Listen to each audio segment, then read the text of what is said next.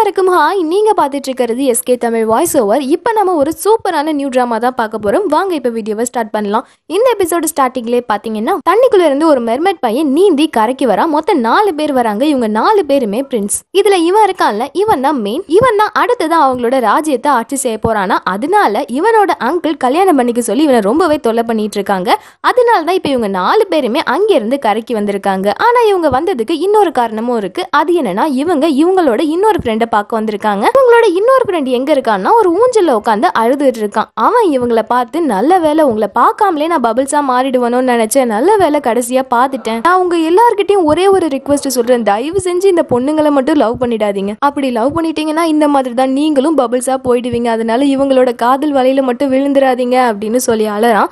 உடனே நம்ம நாலு பிரின்ஸ் என்ன பண்றாங்கன்னா இப்ப பபிள்ஸா மாற போறவனோட ஆன்மா சாந்தி அடையணும்னு சொல்லி வேண்டிக்கிறாங்க. இவங்க எல்லாரும் மெர்மேட்ஸ் தானே அதனால இறந்து போறாங்க. அப்படின்னா பபுள்ஸாக தான் மாறி போவாங்களாம். ஸோ அதுபடி இப்போ இங்க இருக்கவனும் அப்படியே பபுள்ஸாக மாறி போயிடுறான். ஸோ இதுல இருந்து நம்ம ஹீரோ என்ன நினைக்கிறான்னா நம்மளும் இனிமேல் யாரையுமே லவ் பண்ணக்கூடாது யாரையும் கல்யாணம் கூட பண்ணிக்க கூடாது ஆனால் இந்த அங்கிள் என்ன விட மாட்டாரு இப்போ நான் என்ன பண்றது அப்படின்னு சொல்லி யோசிச்சுட்டே இருக்கும் போது அந்த டைம்ல இவர் யாரை பார்த்து பயந்துட்டு இருக்காரோ அந்த அங்கிளே அந்த இடத்துக்கு வந்துடுறாரு. இவரை பார்த்தோன்னே ஹீரோ ஐயோயோ அப்படின்னு சொல்லி தப்பிச்சு ஓடிடுறாரு. இன்னொரு பக்கம் இப்போ நம்ம ஹீரோயினை இன்ட்ரடியூஸ் பண்றாங்க. ஹீரோயின் ஒரு பார்ட்டியில இருக்காங்க. ஹீரோயின் கூட இப்போ அவங்களோட பாய் ஃப்ரெண்ட் இருக்காரு.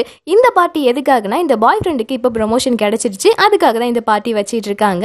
அப்போ அந்த இடத்துக்கு அந்த பாய் ஃப்ரெண்டோட பாஸ் லேடி வராங்க. அவங்க வந்து நம்ம ஹீரோயினை பார்த்து பரவாயில்ல நீ உன்னோட கெஸ்ட் ஹவுஸை விற்கிறதுக்கு ஓகே சொன்னதுனால தான் இப்போ இந்த பீச் ப்ராஜெக்டே ஒர்க் அவுட் ஆக போகுது அப்படின்னு சொல்றாங்க. உடனே நம்ம ஹீரோயின் மியா மியாவுக்கு ஒண்ணுமே புரியல என்னது? நான் ஒத்துக்கிட்டேன்? நான் ஒரு நிமிஷம் இருங்க அப்படின்னு சொல்லி அவங்களோட பாய் ஃப்ரெண்டை கூட்டிட்டு வராங்க. கூட்டிட்டு வந்து நீ என்ன நினைச்சிட்டு இருக்க? எனக்கு அந்த கெஸ்ட் ஹவுஸ் எவ்வளவு முக்கியம்னு தெரியும்ல. என்னால அதை விற்கவே முடியாது. புரியுதா? அப்படின்னு சொல்லி திட்டிட்டு வந்துடுறாங்க.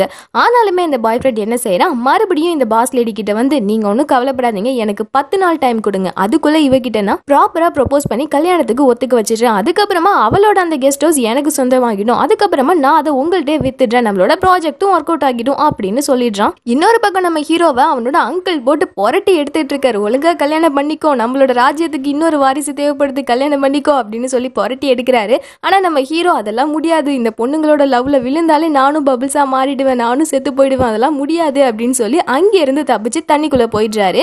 இன்னொரு பக்கம் நம்ம ஹீரோயின் ஒரு செயினை வச்சு அதில் இருக்க ஃபோட்டோவை பார்த்து ரொம்பவே ஃபீல் பண்ணிட்டு இருக்காங்க. அப்படி பார்த்துட்டே இருக்கும் போது திடீர்னு அவங்க கையில் இருக்க அந்த செயின் தண்ணிக்குள்ளே விழ போகுது. அதை பிடிக்கிறேன்னு இவங்களும் சேர்ந்து தண்ணிக்குள்ளே விழுந்துடுறாங்க.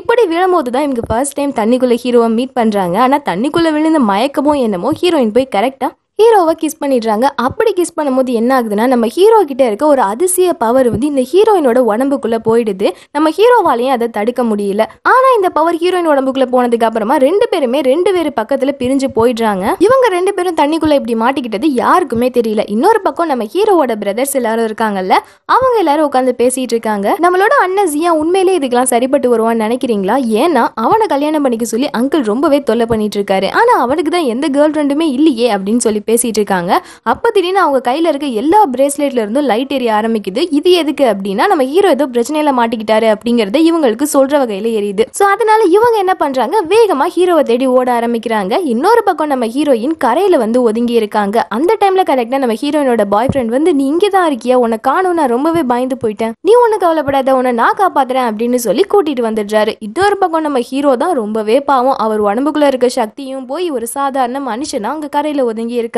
ஆனா அங்க இருக்க யாருமே வந்து நம்ம ஹீரோவுக்கு ஹெல்ப் பண்ணவே இல்லை. ஆனா நம்ம ஹீரோயினுக்கு தண்ணிக்குள்ள இருக்கும்போது என்னெல்லாம் நடந்ததோ அது எல்லாமே கனவா வந்துட்டே இருக்கு. அவங்க டக்குன்னு கனவுல இருந்து எழுந்து ரொம்பவே பதட்டமாகிடுறாங்க.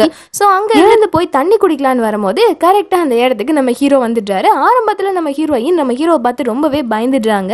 ஆனா நம்ம ஹீரோ ஒரு மாதிரி மயக்கத்தோடைய ஹீரோயின் கிட்ட வராரு. அப்ப இவங்க என் கிட்ட வராத வந்தினா நான் போலீஸ்க்கு கால் பண்ணிடுவேன் அப்படின்னு சொல்றாங்க. அப்படியுமே அவர் எனக்கு தயவு செஞ்சு உதவி பண்ணுங்க. குடிக்க கொஞ்சம் தண்ணி கொடுங்க அப்படின்னு சொல்லிட்டு அப்படியே மயங்கி விழுந்துடுறாரு. ஸோ அதனால நம்ம ஹீரோயினுக்கு கொஞ்சம் பாவமா போயிடுதா? அதனால அவரை கூப்பிட்டு வச்சு அவருக்கு தண்ணி கொடுக்குறாங்க. ஆனா நம்ம ஹீரோ கொஞ்சோண்டு குடிச்சா பரவாயில்ல லிட்டர் கணக்குல குடிச்சிட்டே இருக்காரு. ஆனா அப்படியுமே அவர் இன்னும் தாகமா இருக்கு. இன்னும் கொஞ்சம் தண்ணி கொடுங்க அப்படின்னு கேட்டுட்டே இருக்காரு. ஸோ ஹீரோயினும் என்ன பண்றாங்க? அவங்கள்ட்ட இருக்க தண்ணி எல்லாமே தீந்து போனதுனால ஒரு கோக் எடுத்துட்டு வந்து கொடுத்து இதா இதை குடி. ஆனா இதுக்கு நீ காசு கொடுக்கணும் சரியா? அப்படின்னு சொல்லி கொடுக்குறாங்க. ஆனால் நம்ம ஹீரோக்கு அதை எப்படி ஓப்பன் பண்றதுன்னு கூட தெரியாம அதை பிடிச்சி கடிச்சிட்டு இருக்காரு. உடனே இங்க ஏ லூசாடா நீங்க கொடு அப்படின்னு சொல்லி அவங்க ஓப்பன் பண்ணி கொடுக்குறாங்க. பார்க்குறாங்க நம்ம ஹீரோ மறுபடியும் அதை வாங்கி குடிச்சிட்டு அப்படியே துப்பிடுறாரு. துப்பிட்டு இது என்னது தண்ணி? நல்லாவே இல்லை அப்படின்னு சொல்றாரு. உடனே ஹீரோயின் என்னது? நல்லா இல்லை. இங்கே பாரு உன்னால் காசு கொடுக்க முடியாதுன்னா கொடுக்க முடியாதுன்னு சொல்லாதுன்னு நல்லா இல்லைன்னு சொல்ற? அப்படின்னு கேட்குறாங்க அதுக்கு அவர் ஐயோ இந்த தண்ணி நல்லாவே இல்லை. எனக்கு வேற இப்போ ரொம்ப தாகமா இருக்கே அப்படின்னு சொல்லி சுற்றி முத்தி பார்த்துட்டு அங்கே ஒரு இடத்துல மீன் தொட்டி இருக்கு. அந்த மீன் தொட்டியில் இருக்க தண்ணி குடிக்கலான்னு போறாரு. உடனே ஹீரோயின் ஐயோ அதெல்லாம் குடிக்க கூடாது நிறுத்து அப்படின்னு சொல்றாங்க. அதுக்கு அவர் ஏன் குடிக்க கூடாது? இதுல இருக்க மீனெல்லாம் இந்த தண்ணியை குடிக்குது. நான் குடிக்க கூடாதா? நான் குடிப்பேன். அப்படின்னு சொல்றாரு. உடனே அவங்க ஐயோ நிறுத்துடா உனக்கு வேற தண்ணி கொடுக்குறேன்டா அப்படின்னு சொல்லி கூட்டிட்டு வந்து ஒரு பெரிய பாட்டில் ஃபுல்லா தண்ணியை கொடுத்து நம்ம ஹீரோவை உட்கார வச்சிடுறாங்க. தென் அதுக்கப்புறமா ஹீரோயின் இங்க பாருப்பா நீ இது எல்லாத்துக்கும் காசு கொடுக்கலனா கூட எனக்கு பரவாயில்ல. ஆனா தயவு செஞ்சு இதை குடிச்சிட்டு இந்த இடத்துல இருந்து கிளம்பி போயிடுப்பா அப்படின்னு சொல்றாங்க. ஆனா நம்ம ஹீரோ நான் ஏன் போகணும்? நான் போக மாட்டேன் அப்படின்னு சொல்றாரு. உடனே ஹீரோயின் என்னது நீ போக மாட்டியா? நீ போகலன்னா நான் போலீஸ்க்கு கால் பண்ணிடுவேன் அப்படின்னு சொல்றாங்க. அதுக்கு அவரு என்னோட பொருள் ஒன்றும் உன்கிட்ட இருக்கு. அது வர வரைக்கும் என்னால இந்த இடத்துல இருந்து போகவே முடியாது அப்படின்னு அப்படின்னு சொல்கிறாரு உடனே அவங்க என்கிட்ட இருக்கா? வேணும்னா என்ன செக் பண்ணிக்கோ. இங்கே பாரு என் பாக்கெட்ல கூட ஒன்றுமே இல்லை. அப்படின்னு சொல்றாங்க. அதுக்கு அவர் எந்த பதிலுமே சொல்லாமல் ஹீரோயினோட உடம்பே பார்த்துட்டு இருக்காரு. உடனே ஹீரோயின் எங்கடா பார்த்துட்டு இருக்க? அப்படின்னு சொல்லி கண்ணத்திலே ஒன்று வைக்கிறாங்க. அதுக்கப்புறமா தான் நம்ம ஹீரோவும் வேற வழி இல்லாமல் நான் ஒரு மெர்மைட் தான் அப்படிங்கிற உண்மையை சொல்லிடுறாரு. அப்போ ஹீரோயின் என்ன கேட்குறாங்கன்னா என்னது நீ மெர்மைடா சரி நீ ஒரு மெர்மைட் தானே எனக்கு ப்ரூஃப் பண்ணு. அதுக்கப்புறமா பார்க்கலாம் அப்படின்னு சொல்றாங்க. உடனே இவர் என்ன பண்ணுறாரு ப்ரூஃப் தானே பண்ணணும் அப்படின்னு அங்கே இருக்க ஒரு பாத் டப்ல போய் குதிச்சிடுறாரு. குதிச்ச உடனே அவரோட அந்த மெர்மைட் வால் அப்படியே வெளியே வந்துடுது இதை பார்த்து ஹீரோயின் மயங்கி தோப்புன்னு ஹீரோ மேலேயே விழுந்துடுறாங்க. அப்போ தான் ஹீரோயினுக்கு தண்ணிக்குள்ளே இருக்கும்போது இவரை தான் மீட் பண்ணாங்க அப்படிங்கிற விஷயம் ஞாபகம் வருது.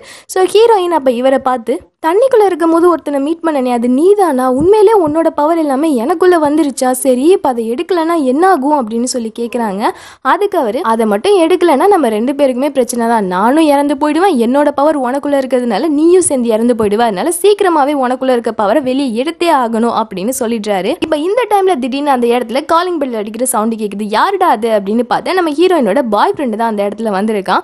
வேகமா நம்ம ஹீரோயினும் போய் பிஸியா இருக்கேன் இங்க இருந்து போ அப்படின்னு சொல்றாங்க. ஆனா அப்படியுமே அவன் எனக்கு அதை விட அர்ஜென்ட்டான ஒரு ஒர்க் இருக்குன்னு கதவை தந்துட்டு உள்ள வந்து வேகமா பூவை கொடுத்து ஐ லவ் யூ என்ன மேரேஜ் பண்ணிக்கோ அப்படின்னு சொல்றான். உடனே ஹீரோயின் லைட்டா இம்ப்ரெஸ் ஆகுறாங்க. அப்ப அவன் என்ன சொல்றான்னா உன்னை பார்த்த செகண்டே எனக்கு தெரிஞ்சிருச்சு நீ ஒரு ஸ்பெஷலான ஆளா தான் ஆக போறேன்னு. ஸோ மேரேஜ்க்கு அப்புறமா தினமும் காலையில நான் உனக்கு முன்னாடியே எழுந்து கிஸ் கொடுப்பேன் அப்படின்லாம் சொல்லிட்டு இருக்காரு. அந்த டைம்ல ஹீரோ அந்த இடத்துக்கு வந்து அதெல்லாம் கிஸ் கொடுக்க கூடாது இது என்னோட ஆளு அப்படின்னு சொல்றாரு. உடனே ஹீரோயின் வாய மூடு அப்படின்னு சொல்றாங்க. இந்த பக்கம் இவனும் ஹீரோயினை இழுத்துட்டு வந்து இங்க பாரு நான் உண்மையாவே உன்னை ரொம்ப நேசிக்கிறேன். அதனால இவன் இப்ப சொன்னதை நான் மன்னிச்சிடுறேன் அப்படின்னு சொல்றாரு. அதுக்கு அவங்களும் இங்க பாரு இவனுக்கும் எனக்கும் எந்த சம்மந்தமும் இல்ல. நீ எதுவும் தப்பா புரிஞ்சிக்காத அப்படின்னு சொல்றாங்க. அதுக்கு அவரும் நான் எதுவும் தப்பா புரிஞ்சுக்கல. சரி இப்ப நான் உன்னோட பாய் ஃப்ரெண்ட் தானே அப்படின்னு சொல்லி மறுபடியும் அவரோட வேலையை பார்க்கவே ஆரம்பிக்கிறாரு. ஹீரோயின் ஆமா என்னோட பாய் ஃப்ரெண்டு தான். ஆனா இப்போதைக்கு என்னால எதையும் டீட்டெயில்டா சொல்ல முடியாது. நான் உனக்கு லேட்டா எல்லாத்தையும் நான் எக்ஸ்பிளைன் பண்றேன் அப்படின்னு சொல்றாங்க. உடனே அவன் என்ன சொல்கிறானா இங்கே பாரு இப்போ நான் உன்னோட பாய் ஃப்ரெண்டு தானே ஸோ அதனால நான் என்ன சொல்றேனோ அதை நீ கேட்டு தான் ஆகணும். இப்போ ஒரு முடிவு பண்ணி. இந்த இடத்துல ஒன்று நான் இருக்கணும் இல்லைன்னா அவன் இருக்கணும். ரெண்டு பேர்ல யாராவது ஒருத்தர் இந்த இடத்த விட்டு போய் தான் ஆகணும் அப்படின்னு சொல்லிடுறான். நம்ம ஹீரோயினால நம்ம ஹீரோ அந்த இடத்துல இருந்து போக சொல்ல முடியாது. ஏன்னா அவங்க உடம்புக்குள்ள இருக்க அந்த பவர் எடுக்கலைன்னா பிரச்சனை ஆகிடும் இல்லையா? ஸோ அதனால நீயே கொஞ்சம் வெளியே போயிடுறா. நீ மட்டும் இப்போ போகலன்னா என்னோட உயிரே போயிடுண்டா அப்படின்னு சொல்லி இவன் அங்கேருந்து அடிச்சு துரத்து விட்டுடுறாங்க.